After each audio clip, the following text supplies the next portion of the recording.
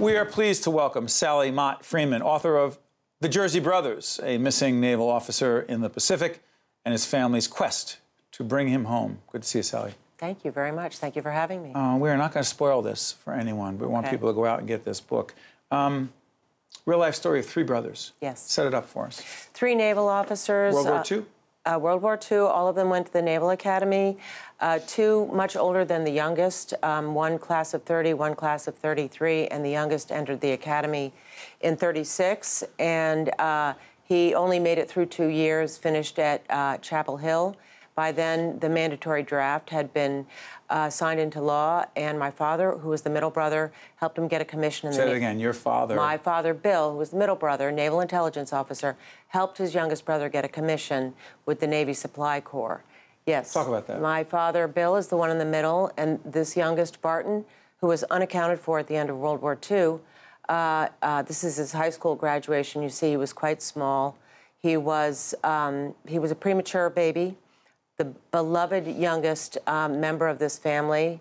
And the fellow on the right, uh, Benny, uh, was the gunnery officer on the USS Enterprise uh, uh, Naval Academy class of 30.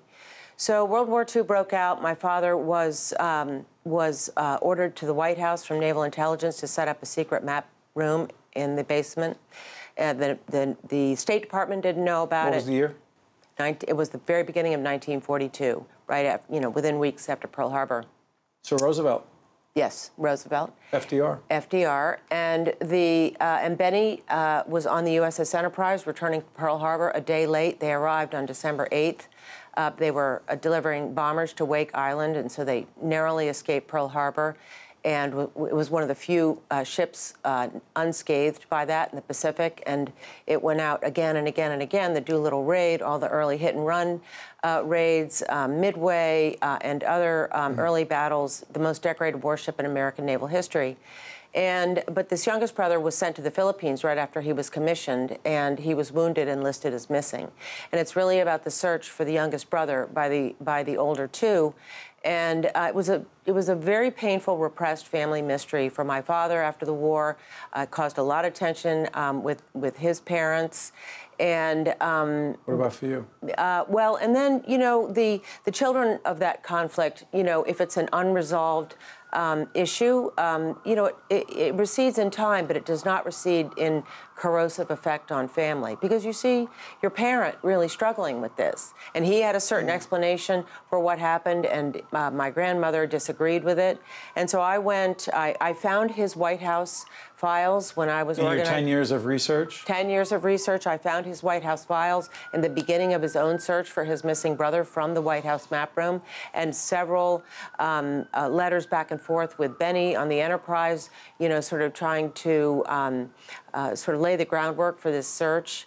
Uh, and um, several comments about his conversations with Roosevelt, who was very sympathetic, also had a son in the Pacific. That's right. And um, I, I was intrigued, and I sort of picked up where he left off. I went to the Philippines, I went to all the prison camps, I interviewed former prisoners of war, people that my father's first hire in the White House map room, uh, who was extremely helpful, um, fellow um, uh, sailors on the Enterprise with, with Benny, the eldest.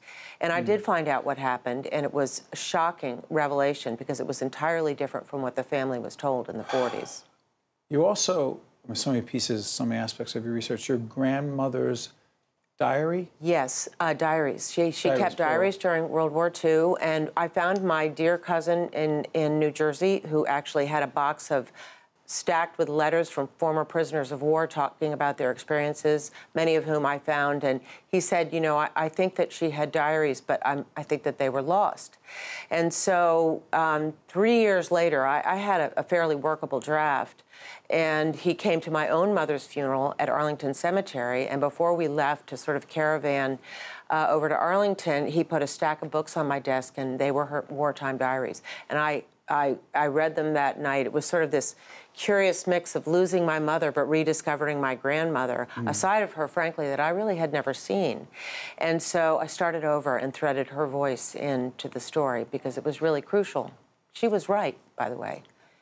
Um, she wrote letters to Roosevelt, Truman, the secretaries of the Army, the Navy, congressmen, senators. She needed to know. She she was a mom, and she was maybe the original helicopter mother. Yeah. And she was very astute. She was a Wellesley graduate. She graduated from college at a time when three percent of the women in this country went to college, and she was uh, sort of type A. You know, she she wanted to know, and she was not alone because there were many parents and families of men trapped in the Philippines on Bataan and on Corregidor, and and.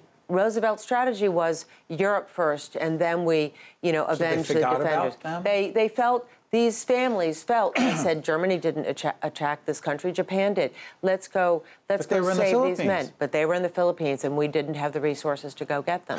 So the, the, it was really part. She was part of a movement called the Bataan Relief Organization that put a lot of pressure on Washington to um, to amend their policy. And of course, here my father was working at Roosevelt's elbow, and his mother just would not quit writing letters.